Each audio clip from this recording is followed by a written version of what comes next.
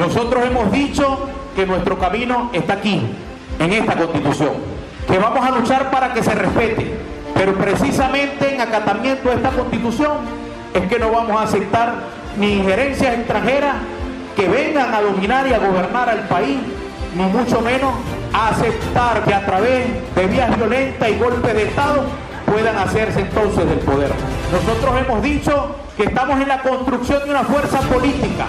que tiene vocación de poder, que tenemos profundas diferencias marcadas con los que hoy están al frente de Miraflores y que vamos a trabajar para que desde nuestra condición de oposición podamos asumir ese poder. Pero lo que no podemos aceptar es que posiciones como esta comprometan la lucha democrática de los sectores de oposición, a los sectores democráticos del país, al G4. Apelamos a la reserva moral y democrática de la lucha que durante años han tenido y que llegó el momento de no seguir acompañando errores, fracasos, desastres y estafa, donde ciertamente genera frustración a un pueblo que quiere cambio y que sigue luchando para que el cambio pueda ser posible en nuestro país.